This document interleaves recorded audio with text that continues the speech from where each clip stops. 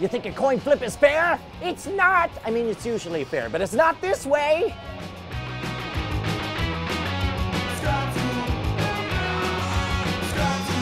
This episode of Scam School brought to you by Domain.com.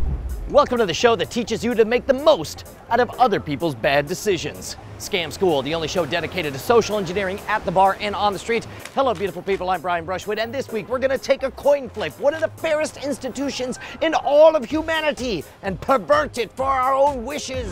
Toast, toast, toast, toast, toast, toast, toast. There we go.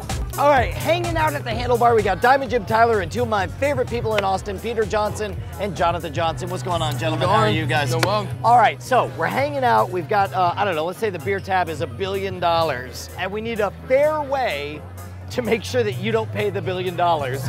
What do you recommend we do, Diamond Jim? We should flip for it.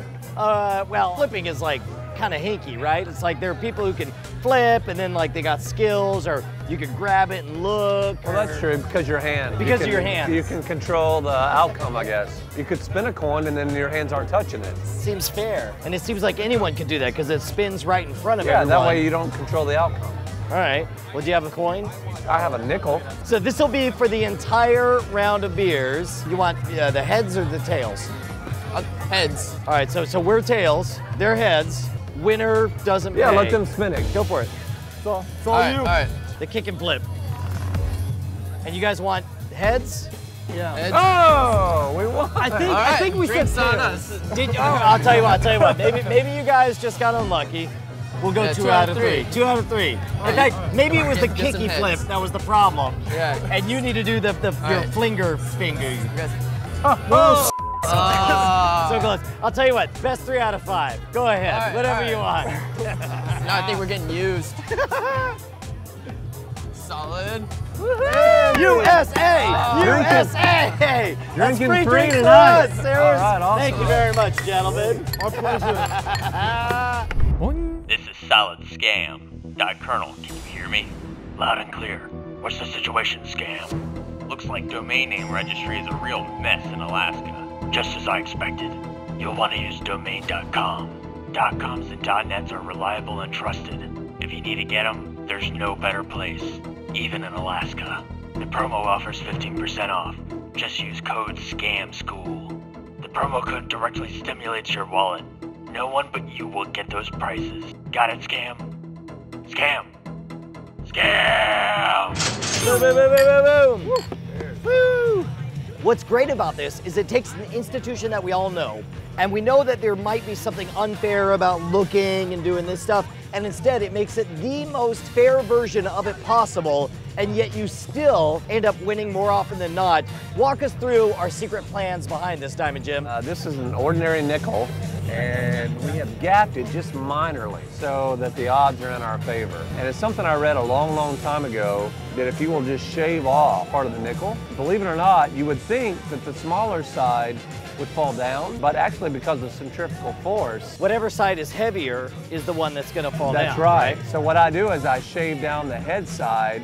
I just use a file and then I'll mill that down. So basically, you would want to make two of these and Yes. wait whether or not they want the heads or tails. Whatever side you want to be face up, you have to shave the edge of that side. So in this case, the tail side has a little bit of a curve, so the head side is heavier and more likely to end face down, yes. right? Yes. And and it doesn't matter whether you fling it or flick it, as long as you have that edge on there. It's amazing. Did either of you guys even notice? Like we made this at home, just you know, you could use it on the concrete if you just wanted Right. to rough up an edge. Did you notice anything off? Yeah, I actually did notice that was a little like ratty on this side of it, but I just assumed it was getting messed up in your Worn. pocket while you were. So even walking as we were flicking it in front of you, it didn't occur to you that this was a gimmick coin in any way. Not at all.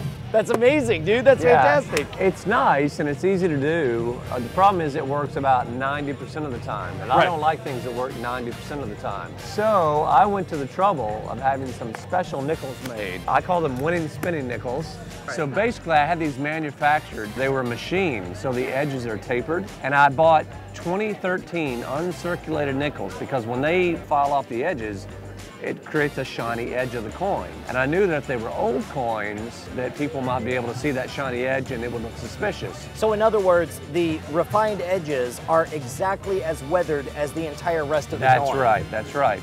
And so with two nickels that with matching dates, you can switch them out if they look at the date. And so this will always land heads up, this one will always land tails up.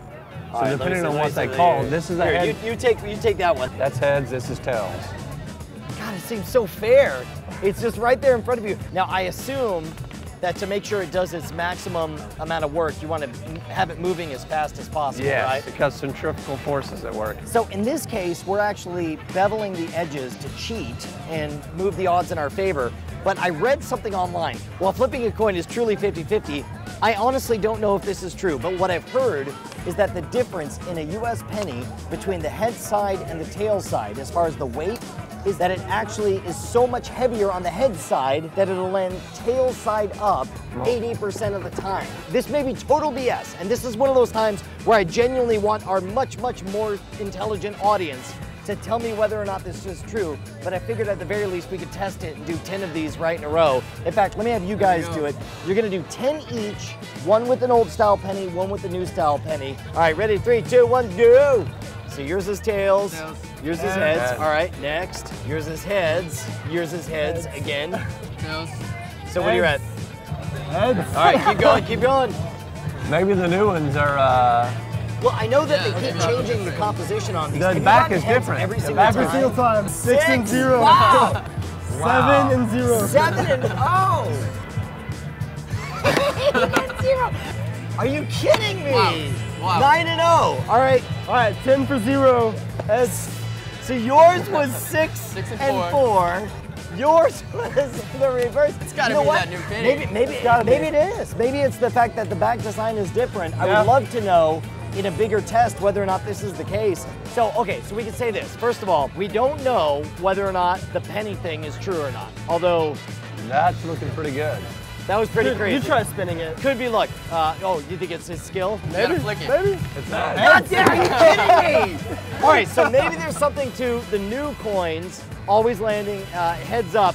Everybody at home tried this out, but we know for sure if you take a file to it that you definitely skew it way in your favor, Oh, right? yeah. I'm gonna try this one more. There's no way. 12 in a row? It, it can't be. That's 12 in a row. Dude, new pennies are haunted. There's no way. That's 13 in a row?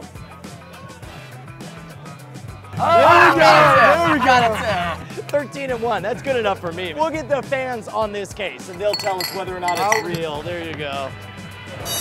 Of course, we got to give a huge thanks to Diamond Jim Tyler for sharing this one with us. You can actually buy his own specially machined spinning quarters at scamstuff.com. It's gear for the modern rogue, everything sneaky and underhanded. You can make all of that happen at scamstuff.com. And of course, you and I should be best friends at twitter.com slash shwood or facebook.com slash shwood. I'm shwood no matter where you go. And there is no C in shwood. And of course, next week, you're not going to want to miss it. We're going to learn how to escape an arson investigation. Spoiler alert, don't get caught.